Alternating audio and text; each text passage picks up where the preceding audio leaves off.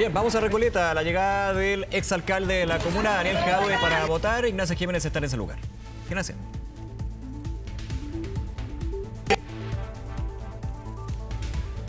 Ya, Ignacia, no está tan fácil la señal, hay mucha explicación periodística con este voto del exalcalde de Recoleta, Daniel Jaude, recordemos que él está siendo investigado, que estuvo con prisión preventiva, que hoy día tiene arresto domiciliario, pero eh, ha conseguido el permiso porque él no está juzgado, no ha perdido sus derechos ciudadanos y ahí eh, es recibido por harta gente. ¿ah? Esto es como una tónica en el caso de Daniel Jaude. Vamos a quedarnos con el ambiente en el ingreso a este local de Recoleta.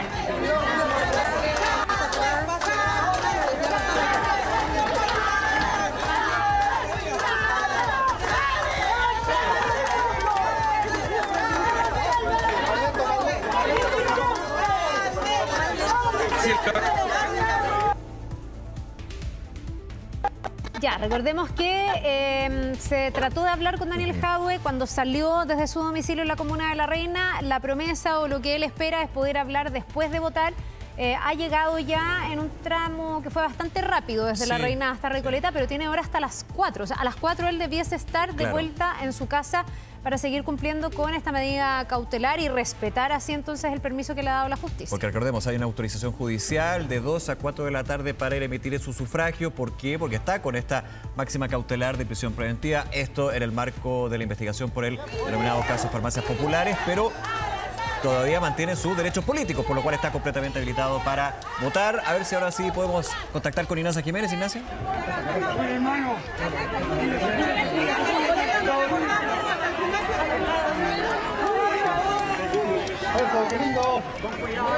Vamos a estar después, obviamente, eh, imagen en vivo lo que sucede en Recoleta, adherentes del exalcalde de Recoleta, recordemos quién también ha ungido a eh, uno de los candidatos desde antes, Farejado, que Muy tranquilo y muy contento con todo el cariño y además muy confiado en que vamos a tener un gran triunfo hoy día en la tarde.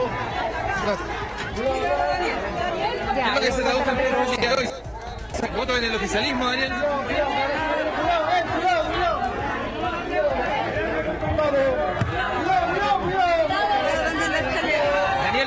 Esperaba este recibimiento?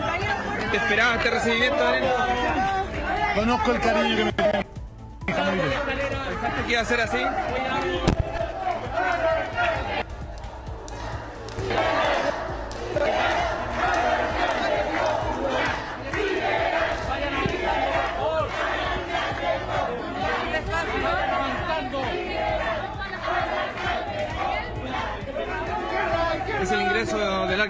Ex alcalde Daniel Jaue. La verdad es que solamente respondió a palabras en relación a la emoción que se entregaba con gran eh, aforo de público, de adherentes, se le ha consultado sobre los temas, pero no ha, no ha querido responder. Vamos a intentar tomar otras declaraciones.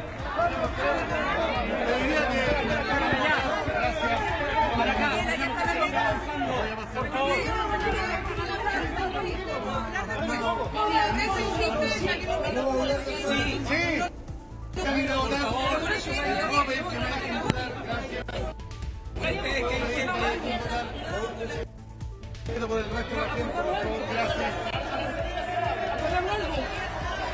¿Puede hablar de la emoción de haber llegado con tanta gente?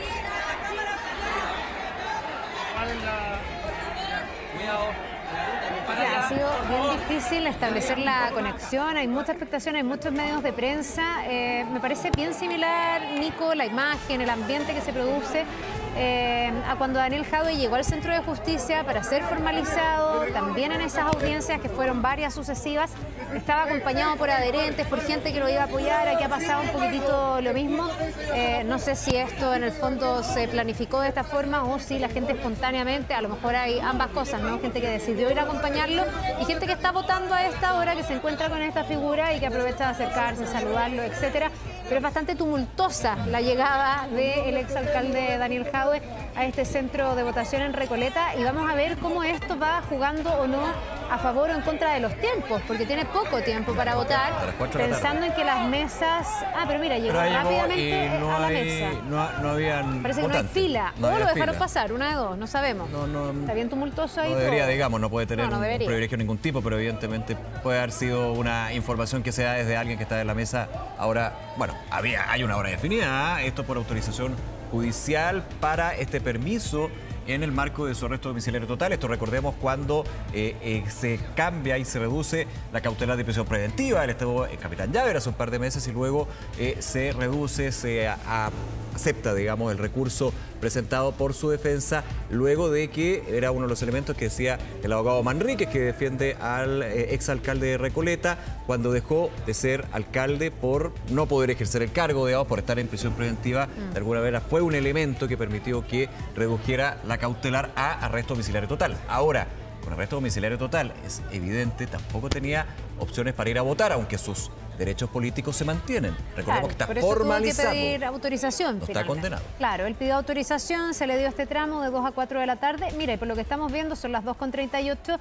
debiese alcanzar todo, eh, hacer todo este trámite sin tanto problema y debiese alcanzar a hablar con la prensa. Llegó muy rápido, la caminata fue un poquitito más lenta por la cantidad de gente que lo iba acompañando, pero ya está dentro de la Cámara Secreta, ya está emitiendo su sufragio, así que rápidamente eh, probablemente esto se va a concretar. Y luego de eso eh, es como la, no sé si un compromiso, pero la voluntad que él ha expresado, eh, va a hablar con los medios de prensa. Me imagino que sobre lo que pasa en Recoleta, esto de poder haber ido a votar, pero también hay casos de la contingencia que probablemente se le van a preguntar para tener una opinión de un referente del Partido Comunista. O sea, aquí también eh, hay que pensar que Daniel Jado es una de las figuras importantes de ese partido. Evidentemente ha estado complicado en su situación judicial. No pudo llegar al final de su mandato como alcalde. Él tuvo que ser reemplazado. Eh, luego de que fue formalizado, digamos, pero em, sabíamos que no iba a la reelección en este cargo. Él dice vamos a tener un triunfo, pero se refiere a, su delfín político, ¿no? A quien él también ha ido apoyando para este proceso electoral. Fíjate que también está acompañado de figuras del Partido Comunista. Vemos en imágenes a Ana Juan Andrés Lagos, también eh, eh, me comentaba que estaba el diputado Boris Barrera, eh,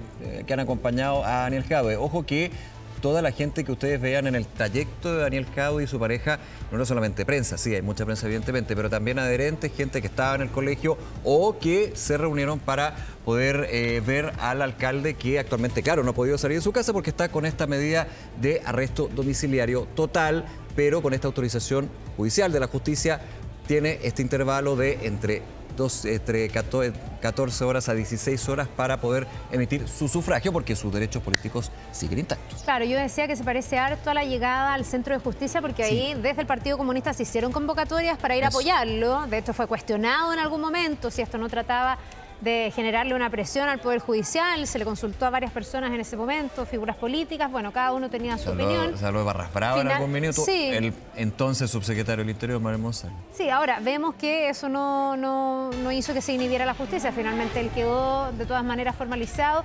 No sé si en este caso hubo una convocatoria, yo me imagino que sí, que hay gente ahí que lo va acompañando y que estaba dispuesta a estar en este local esperándolo y entrar con él, pero también vimos otras personas que probablemente al momento de encontrárselo en una comuna como Recoleta, donde Daniel Jaue ya llevaba varios años y donde fue un alcalde, claro, donde fue un alcalde bien protagónico, eh, aprovecharon de eh, saludarlo, de sacarse una foto, de decirle algo.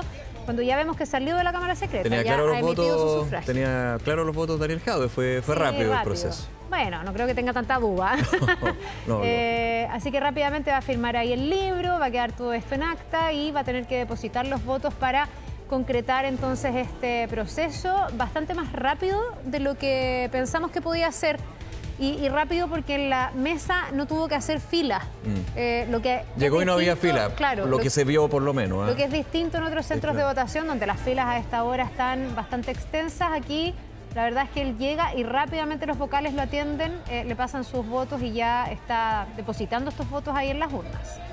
Sí, ahora ya estaría terminando el proceso, falta que le entreguen su carnet de identidad, el último voto entonces el que tiene que ver con los eh, gobernadores, si no me equivoco, no, los alcaldes en este caso, y saludo a los adherentes de Daniel Jadwe en este mm, local de votación, Escuela República del Paraguay, donde vota actualmente Daniel Jadwe, exalcalde de la comuna, se retira entonces de la mesa y vamos a ver los tiempos van corriendo, pero ahí la foto, el abrazo con Andrés Lagos, asesor también del Ministerio del Interior, hace poquito figura referente también del Partido Comunista que lo acompaña. Sí, vamos a ver cuánto se demora ahora en tomar alguna posición, algún espacio, porque me imagino que tampoco se va a poder quedar ahí hablando con la prensa, porque No, esto no. va Tiene a entorpecer, claro, esto va a entorpecer a aquellos que quieran votar a esta hora. No, no, hay, hay mucha, como muchos medios, mucha expectación. Eh, mucho desorden también a raíz de la votación del exalcalde Jadwe, así que tendrán Mm. que buscar un lugar para poder hablar con la prensa tal como han dicho que es la voluntad de, de Daniel Jadwe. Y eso ha cambiado en otras ocasiones, hay que recordarlo. Había- Cuando se, ha- se- se llega a acuerdo, digamos, pero en el fragor del minuto o por otros temas, se, se cambia, digamos, lo que era la, la posición inicial. Habrá que qué ahora pasa. probablemente tenga interés en hablar. Daniel Jaude generalmente habla. Vamos a ver lo que, lo que va a hacer ahora en estos minutos cuando ya ha dejado su mesa. Cuando siguen ahí algunos cánticos, algunas consignas de apoyo, se ha pedido libertad para él a raíz de lo que está enfrentando con la justicia en un juicio que tiene que comenzar. Él está recién en la fase de investigación, Sí, ha sido formalizado. Eh, hay un plazo que se tiene que cumplir para luego ya eh, ver cómo se va a desarrollar este juicio y qué va a decir la justicia, si lo considera culpable o lo considera inocente, pero claro, al estar con una medida cautelar ha necesitado un permiso especial de la justicia para poder ir a votar, algo que ya ha ocurrido de manera bastante rápida. La salida no es tan rápida. Escucha un poquito. Muy emocionado y muy contento y muy tranquilo porque sé que vamos a obtener una gran victoria hoy día. ¿A dónde? al árbol, al árbol como establecimos, ahí van a dar uno. ¿Quién te esperaba esta La verdad es que no. Trabajo es muy reconfortante. Eso es parte de las palabras de Daniel Jaue. Se está dirigiendo en estos momentos, de todas maneras, al punto de prensa, un lugar que está un poco más ordenado, hay que decirlo, y que es donde se espera que, que realice, digamos, responder otras preguntas. Claro, porque dentro de todo fue bastante caótico, no así la, votación en sí misma, que fue muy breve. Ustedes lo presenciaron prácticamente cuatro minutos. Toda la en una salida.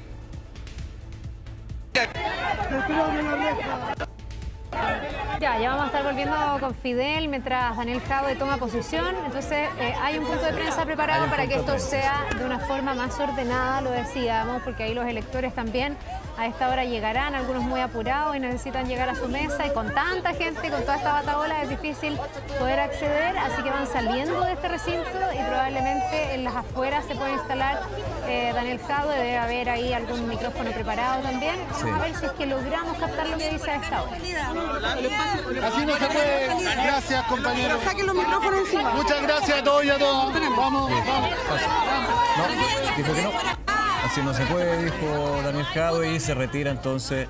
Así no se puede, dijo. No, había pasado en otras ocasiones, por eso yo lo, Sí, lo- lo pusiste señalaba. No quisieron, compañero, gracias. Daniel, pero es que era imposible, era Los imposible. medios- los medios Era no imposible, quisieron. Pero Daniel era Los imposible. medios no quisieron. No, no es así. Muchas gracias. Esto había pasado antes, ¿eh?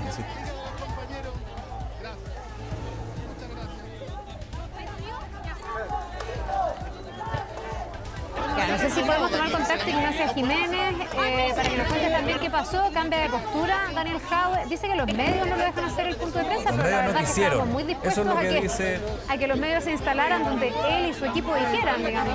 ¿Qué pasó? Lo lamento. ¿Qué quiere que diga? Yo muy contento, muy tranquilo. Feliz de los resultados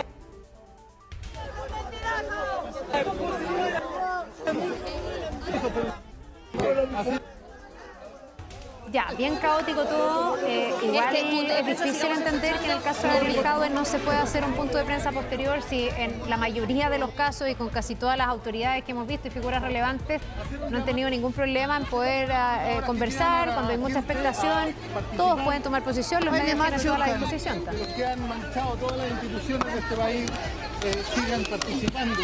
De la pregunta, macho. Un abrazo. Daniel, ¿cuál pues sigue siendo la... Ay, espera, espera, espera, espera, espera, espera, espera. espera. Afírmela. Gane detrás. Marcando, marcando, cariño.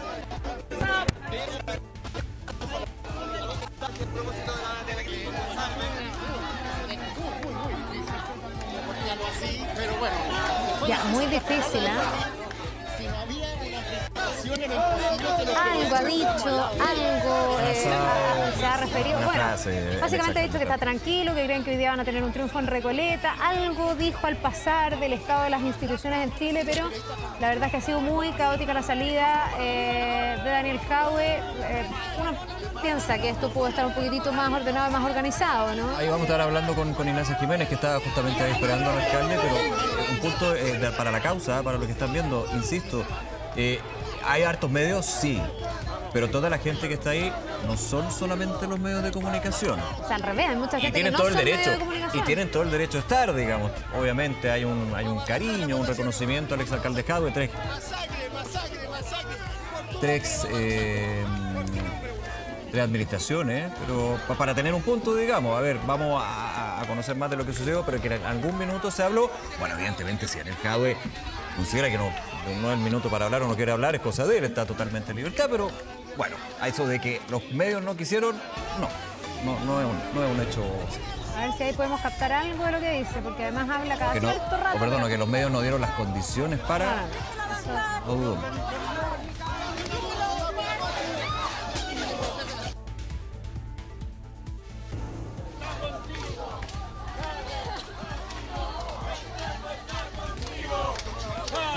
Esa gente que grita, de hecho, no son medios de comunicación, es básicamente personas que o han que llegado ahí, y estaban ahí o que han sido convocadas previamente eh, desde el Partido Comunista, desde las personas que apoyan a Daniel Jaue, porque no tenemos hoy día esa confirmación, pero es básicamente lo que había pasado cuando él llegaba al Centro de Justicia para enfrentar su formalización. De hecho, se organizaron marchas, se juntaban en un metro, caminaban hasta el Centro de Justicia, siempre en esta tónica de eh, llegar a estas instancias muy acompañado, Daniel Jaue, y con estos cánticos y con estas consignas.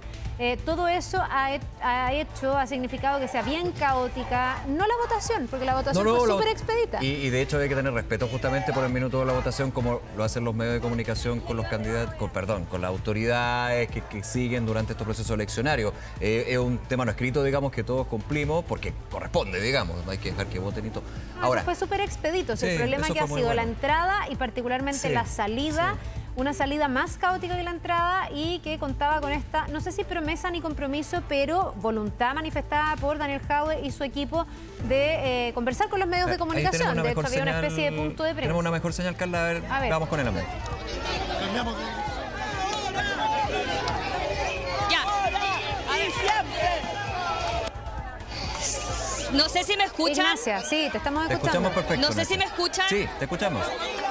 Sí, a ver, esto resultó 100% más caótico de lo que se había pensado. Se había habilitado una entrada para que ingresara con su vehículo al colegio. Él no quiso hacerlo, su propio equipo dijo, él quiere entrar caminando hasta eh, el, el gimnasio de la Escuela República de Paraguay. Se pidió que los medios no eh, hiciéramos más preguntas que el ambiente que captaba su llegada porque iba a ser un punto de prensa. Ustedes lo vieron, este punto de prensa no ocurrió. El mismo alcalde dijo no están las condiciones. ¿Qué es lo que quería él? Que estuviéramos al otro lado de una valla papal que se había dispuesto acá en las afueras, en el patio del colegio, Eh, pero era imposible porque la verdad es que para poder escucharlo, ustedes saben que los micrófonos tienen que estar cerca justamente de eh, eh, el alcalde para poder captar eh, su voz y eso no eh, termina eh, ocurriendo podio, y eh, finalmente se produce eh, toda esta salida eh, caótica que ustedes vieron. Se había eh, puesto los trípodes en el patio del colegio, se había dispuesto eh, un lugar para que él hablara y eso finalmente no ocurrió. Fue el propio alcalde, ustedes lo vieron, exalcalde, ustedes lo vieron en las imágenes que dijo que no, bajo estas condiciones no, pero la verdad es que son las condiciones que él y su equipo habían dispuesto para instalarnos en el patio de la Escuela República de Paraguay y eso finalmente eh, no se cumplió. Poco se le pudo escuchar en esta ventana de dos horas que recordemos se le dio para que pudiera venir a ejercer su derecho a sufragio que al menos en medio de este caos que se generó pudo eh, ejercer. Caos que hay que decir se produjo más por los adherentes que ustedes siguen escuchando y siguen viendo acá afuera de eh, la Escuela República de Paraguay que llegaron junto al alcalde.